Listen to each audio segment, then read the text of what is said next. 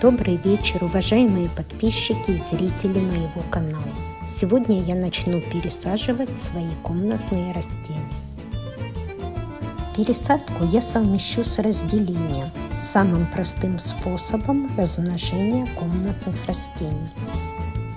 Размножать и пересаживать буду комнатный плющ, алоэ, фиалку и спатифилум или же женское счастье – Совмещенное с пересадкой разделение не просто позволяет увеличить коллекцию любимого вида, но и является важным инструментом омоложения и восстановления старых комнатных растений.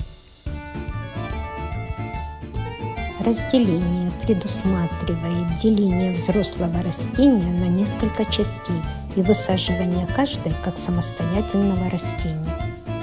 Для пересадки я буду использовать субстрат универсальный и дренаж керамзитовый.